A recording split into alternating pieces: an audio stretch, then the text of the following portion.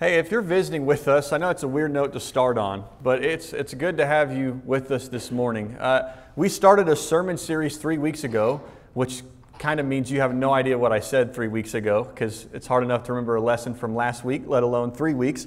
But we started a series called This Is Us, and we were aiming at trying to figure out, as the Choctaw Church of Christ, who are we? Who are we? What are we all about? And our first week, a few weeks ago, we took a step back and said, before we discuss who we are and what we're all about, we need to remember why there even is in us. And we talked about how we are a diverse group of people who have come from all over to this place because we've learned a life changing truth that we were guilty of God's death, that our sin put him on the cross. We learned that we were witnesses to his resurrection, to the power he has over death. And because of that, we all responded to his call. We gave our lives to Him. We committed to Him. We immersed ourselves in Him. And now we are more than just a people who meet on Sunday morning, but we're a kingdom. We're a movement. We're a body of people. Uh, we're a family. And we're going to talk about what we are all about as the church, simplifying it down into three or four big picture ideas. And this morning, uh, before we get into it, I want to talk to you about this guy for a second. Now, some of you are already groaning by the logo on his shirt or his hat. Give me a moment. I grew up 10 minutes or so from the University of Oklahoma's campus. And as someone who played sports my entire life, uh, and it was a big part of my childhood, you can imagine who I'm a fan of when it comes to sports. I try to go to every football game and basketball game at Oklahoma that I can. I watch all the games on TV. I'm one of those weird fans who even keeps up with concepts like recruiting. I'm one of those guys, I know. Um, I, in college sports, there's a direct correlation between the amount of success you have and the amount of talent you have. And so I like to see, well, how are they recruiting? I find that concept interesting, don't you? That grown men around the country are fighting over teenagers. you ever thought about that? That you have grown men that their job, their success depends upon 16 and 17 year olds. I don't know if there's another job like that. There, there really isn't. And it's interesting in recruiting, uh, it's, it's difficult to recruit a teenager. Uh, for those of you who remember how you were when you were a teenager, if you work with teenagers uh, or if you have teenagers, you know it's difficult to have a kid make a decision.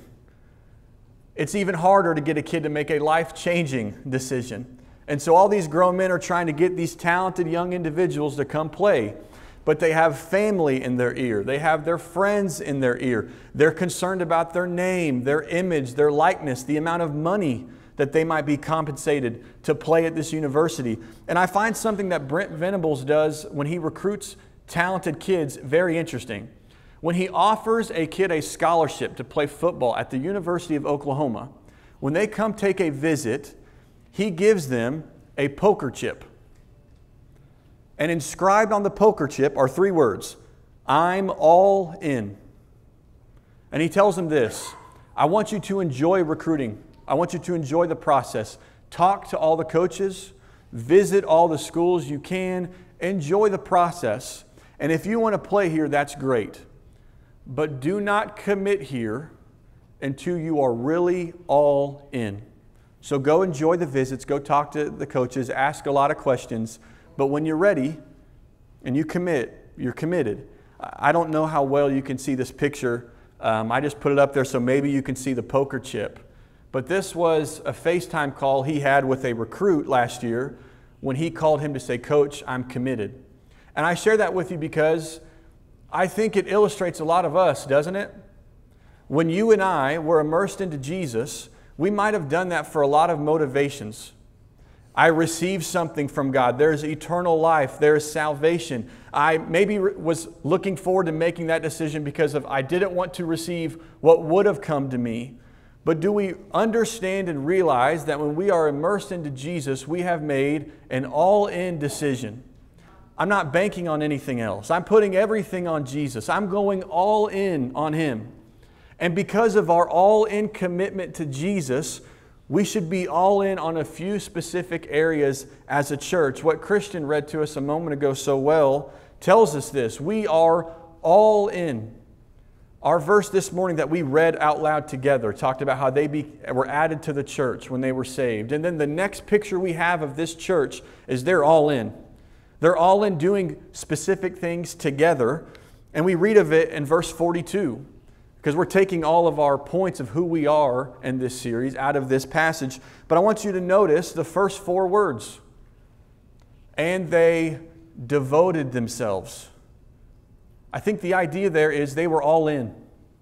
They were fully committed to becoming who God wanted them to be. They were fully committed, invested, devoted in being the church God wanted them to be.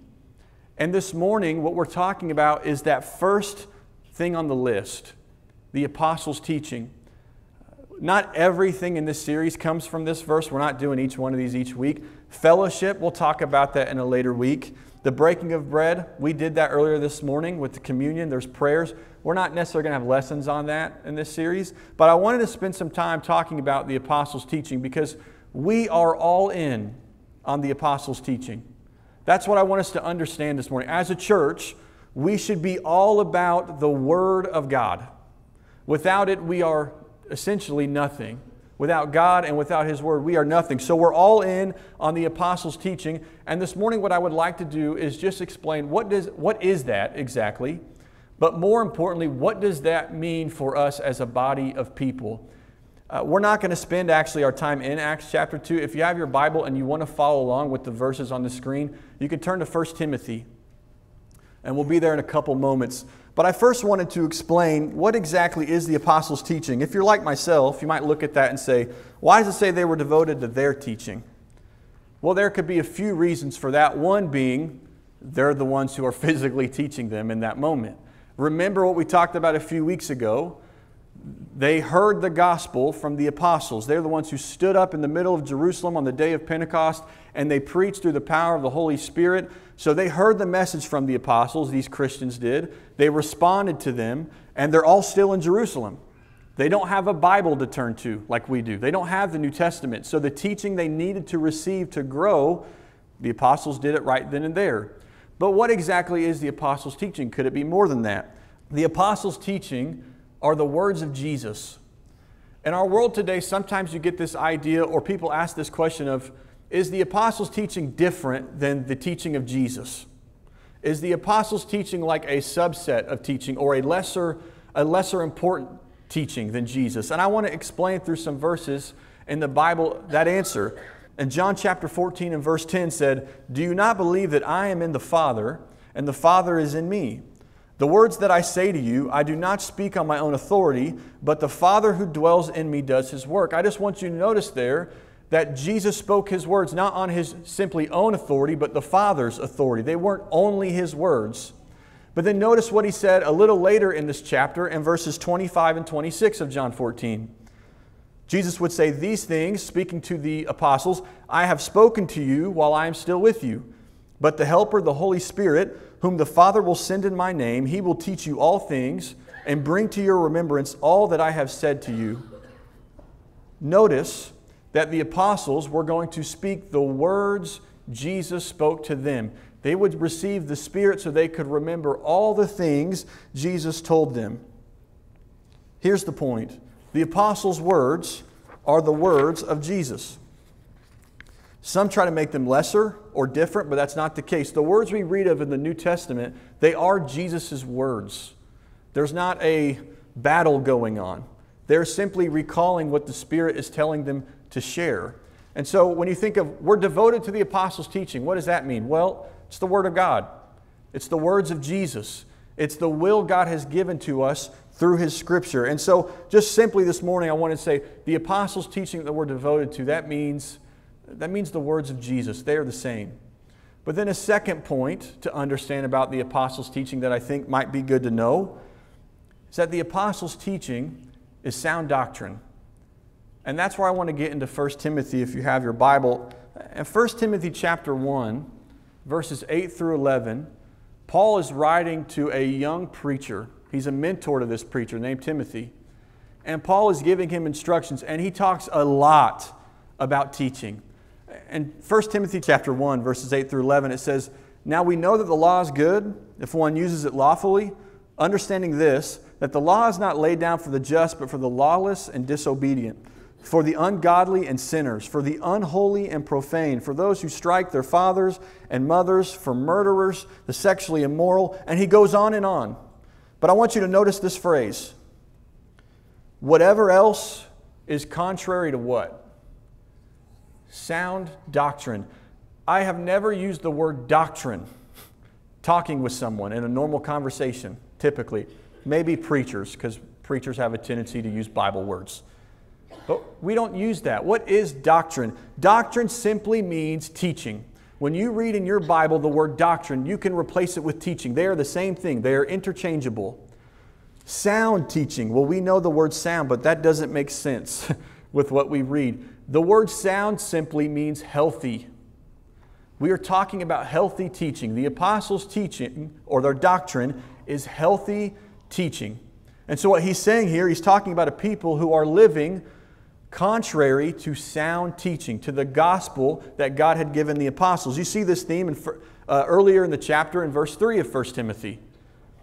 He told Timothy, I urged you when I was going to Macedonia, remain at Ephesus so that you may charge certain persons not to teach any different doctrine. Notice this phrase not to teach what? Any different doctrine. Well, what doctrine are you talking about? He's talking about teaching that is contrary to healthy teaching, teaching that is contrary to the message God had, been, had delivered the church through the apostles and prophets. That's what he's speaking about. And so he said, Hey, Timothy, there are certain individuals amongst your midst that I have instructed, that I have rebuked, that I have reproved with patience and teaching, and they are unwilling to change and adhere to the truth. You need to charge them to teach the healthy teaching and not teach anything differently. That was Timothy's mission. That's what uh, he urges Timothy to do here. Uh, we continue on. Notice what he emphasizes to Timothy at the end of 1 Timothy.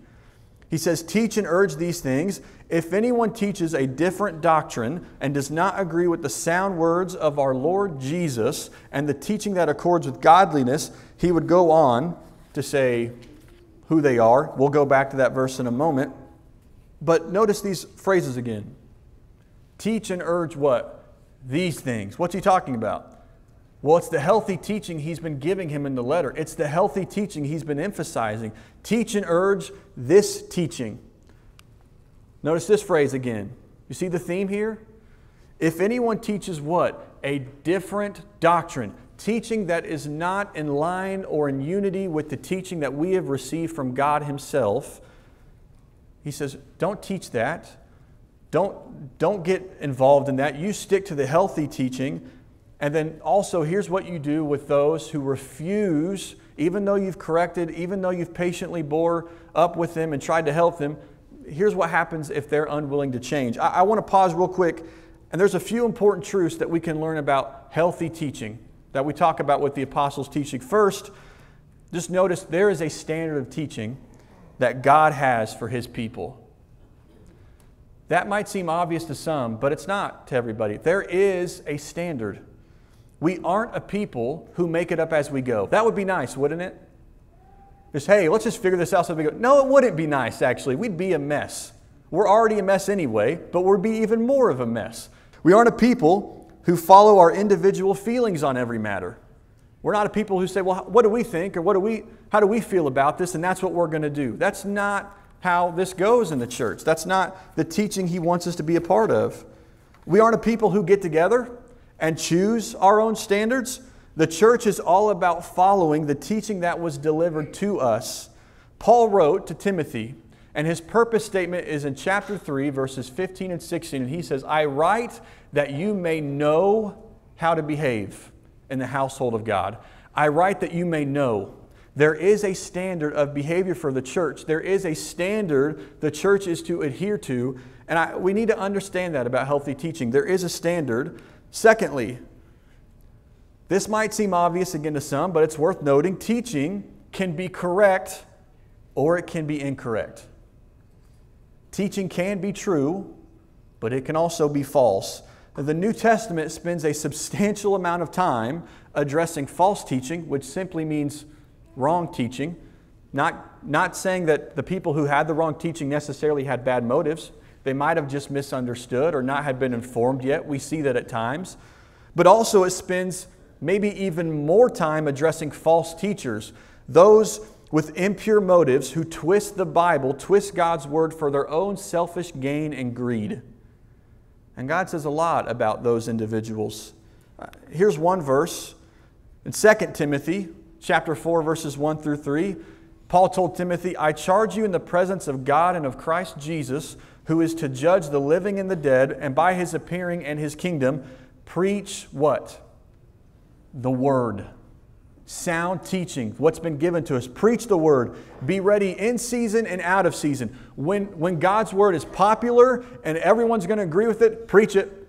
When people are going to hate it and disagree with it, guess what? Preach it. Be ready in season and out of season. Reprove, rebuke, exhort, for the time is coming when people will not endure sound teaching. But having itching ears, they will accumulate for themselves teachers to suit their own passions. The problem of false teachers and false teaching was relevant in the first century and it hasn't gone anywhere. Do you and I realize that we have more teaching accessible to us than anyone else in human history? Have you ever thought about that? There's no one in human history who has more teaching available to them than us right now in this moment. Imagine what it will be like in 50 years. That is a blessing in many ways. The sound, healthy teaching of Jesus can be spread to so many people, it's accessible to all. That's wonderful.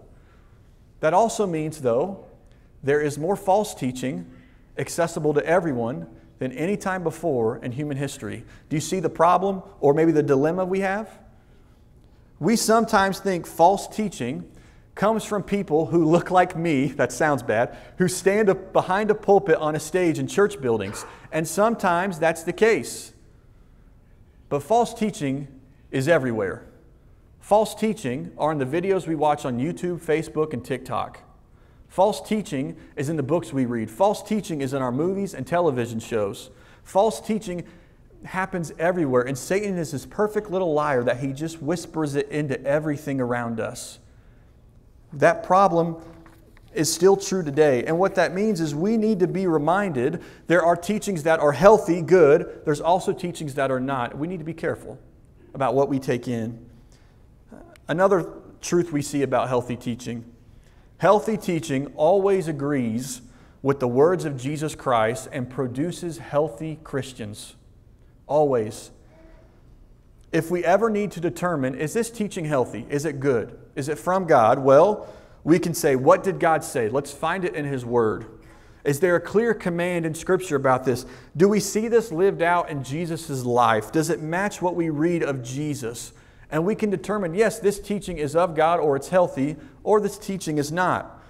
We didn't read this second part of this verse when he says, if anyone uh, teaches a different doctrine and does not agree with the sound words of our Lord Jesus Christ, and the teaching that accords with godliness, here's what he says about those people He's puffed up with conceit and understands nothing. He has an unhealthy craving for controversy and for quarrels about words which produce envy, dissension, slander, evil suspicions, and constant friction among people who are depraved in mind and deprived of the truth, imagining that godliness is a means of gain. Unhealthy teaching creates unhealthy people. And we can see that. Jesus said, You will know them by their fruits. Sometimes you can know a teaching is bad by its fruits. And here he's talking about these false teachers who are spreading a false message. He says, Look at the lives they are creating, look at the lives they live. This is their condition. And so this morning, those are a couple truths about false teaching, or the apostles' teaching, I should say. It's the words of Jesus and it is sound doctrine, it is healthy teaching. And I wanted to clarify because we're saying, hey, as a church, we're devoted to the apostles' teaching. We're devoted to the sound words we see in Scripture. But what in the world does that mean for us as a people? I have three little applications I think that means for you and I. Pretty short, might seem simple, but usually it's the short and the simple things that are incredibly important, right? So here it, here it goes. Here's what that means for you and I. Number one, we must emphasize reading studying and teaching the Word of God. I know you hear that message some or a lot, but it applies in this lesson. Uh, as a church, reading, discussing, teaching, preaching, it shouldn't be the only thing we are about, but it should be a major part of who we are. Uh, without the words of God, we don't know who we should become. Without the words of God, we really can't know God's will for us. And if God has given to us His word and will to know Him, if, it's, if He's given it to us to Uh, guide us as a church and as an individual, we should spend a substantial amount of time in it together. The early church was eager and excited to hear the message of Jesus. They were eager to sit at the feet of teachers and hear God's word, and we need a similar attitude. Listen, I know people love short sermons. Many of you are saying, I would love a short sermon right now. I want to respect your time when I'm up here speaking. But I also, and I understand that not every subject and lesson needs to be a long, long lesson. But think about this for a moment. If doctors say that you need 20 minutes of moderate intensity exercise a day, which goes out to oh, 140 minutes a week of exercise to be healthy, and they say beyond that, you really should add resistance training twice a week. And if you could spend five hours, that would be even better a week exercising. If they say that is what we need to be healthy physically, why do we think 20 minutes of God's Word is going to make us healthy spiritually? Why do we think maybe 40 minutes together a week is what's going to be healthy for us? We need to spend time in God's Word together. This is the mode that God created to share His message with people, to convict us and to move us and to encourage us. We should spend time emphasizing it. We should read it. He told Timothy, do not, do not neglect the public reading of Scripture. How often do we just stand up and read? How often you just sat there, let's read a chapter, let's read a book? Do we emphasize studying it? Let's just get together and talk about it. Formal, informal, let's teach and preach. Let's spend time hearing the Word of God together. We should emphasize it. If the early church did that, the church we're trying to be like did that, then we need to be that too. So I think we do somewhat of a pretty good job emphasizing preaching and teaching in this church, but it can always grow with our reading and our studying. But that's why we emphasize this is who God wants us to be. Secondly, this morning, if we're a church devoted to the apostles' teaching, that means we must ask a lot of questions. Later in the book of Acts, we read about a people called the Bereans, and it says they were noble minded because they searched the scriptures daily to see if the words Paul told them were true. They were eager to receive the words, but notice they asked a lot of questions. It wasn't like they got it and said, Yep, that's just true. They asked questions. They asked questions because they wanted to confirm the message was true. They asked questions to see whether it was right or wrong. They asked questions because they were sincerely interested in what God had to say and what His will is. We should ask a lot of questions. We ask because we care. We ask because we know we don't always get it right. I'm afraid some members of the church, and even myself at times, have an attitude of everyone else has it wrong but me. Does that ever scare you? If you have that attitude, should that scare us sometimes? I hope that doesn't describe us. The Bible speaks of a group of people in the Gospels who thought they had it all figured out, who thought they knew it all. And people thought they knew the law super well. And Jesus says, You're missing a lot. You're lacking in some areas. You don't understand or you don't apply it well. Understand this morning, the Bible is perfect. We have the perfect Word of God. But that doesn't mean we are perfect. The Bible is perfect. It doesn't mean our knowledge or understanding or our application of it is perfect. So we ask a lot of questions because we're humble. I might not know it all. I might have this wrong. I'm willing to look at it. I'm willing to ask questions. I'm willing to dig deep. And so, as a church, if we're devoted to the apostles' teaching, we should ask a lot of questions. And we should dig to find truth. And we always go back to God's word to find that truth. But then, lastly, as a church, if we are devoted to the apostles' teaching, we must be willing to change when we don't match up. Being devoted to God's Word is more than just being just the amount of time you spend in God's Word. It's more than just emphasizing it from a pulpit when you meet together. If, if I spend personally, if I spend hours in my Bible, but I'm not willing to change to match what I read, can I really say I'm committed to the words of God? No, I just talk a lot or I read a lot. But how can I really say I'm committed to it if I'm not willing to change? Church, we need to emphasize the Bible, but if we ever come across truth and we realize we don't match it, if we're committed to God's word, we should be willing to change. See, this is why we have to be humble, isn't it? Because if we're not humble, we'll never change to match God's word. We'll think we'll have it all right, we got it all figured out, we're good. We apply it perfectly, we're great. We got to ask questions, but we have to be humble enough to say, I might be wrong, and I'm willing to change if I see I'm wrong. Now, we're not going to be perfect, church. We know that. But it might be that we are unwilling to change at times, and that's a different problem. We are a people who are devoted to the apostles' teaching. So we should emphasize the Word of God. We should ask a lot of questions, and we should be willing to change if we don't match up. So let's do that. Let's emphasize Scripture as a church family. Let's ask a lot of questions, and let's keep an attitude of humility. And remember, we might not always match what we need to be, but we're willing to work on it. In the weeks to come, we will talk about other subjects that we need to be all in on. But I want you to remember that we need to be all in on them. Hey, this is me, I'm committed. This is all of us. Us as individuals, us as a body, us as a leadership, everything. This is who we are, this is what we're all about.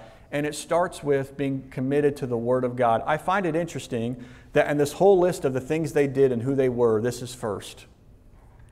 And it might be because if you're not committed to God's word, you probably won't become everything God wants you to be. In fact, you won't. And so let's be devoted to the word of God. This morning, uh, we're talking about being who we, are, who we are and being all in on the teaching. You can't be that unless you're all in on Jesus first.